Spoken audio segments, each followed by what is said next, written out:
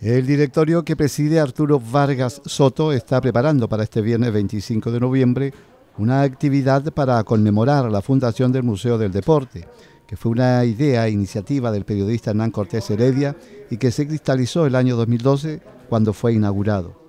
Arturo Vargas Soto, actual presidente del Círculo Cultural Deportivo Tierra de Campeones, que acogió al Museo Deportivo, nos cuenta más sobre esta actividad de aniversario.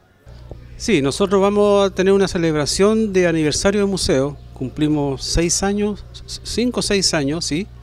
Eh, que tenemos varios, eh, varias eh, piezas, digamos, copas, medallas, trofeos, fotos de los distintos deportistas de, Iquique. En esa oportunidad queremos darle un, brindarle un homenaje al doctor Raúl Sierralta, que fue un ícono, un referente del deporte iquiqueño, este señor eh, al parecer está cumpliendo 106 años de vida y qué mejor que los iquiqueños le brindemos este homenaje tan bonito, tan sincero para él que se sacrificó harto por el deporte iquiqueño. Consultado sobre el museo que se encuentra ubicado en Baquedano 837, Vargas Soto nos Esta fue una iniciativa del señor Hernán Cortés Heredia y que las cosas quedaron ahí postergadas por años en, en el estadio municipal.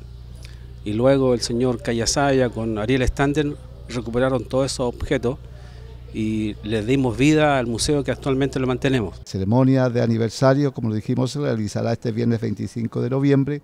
Contará con la presencia de invitados y también del doctor Raúl Cirralta Escola, destacado profesional de la salud y del deporte iquiqueño.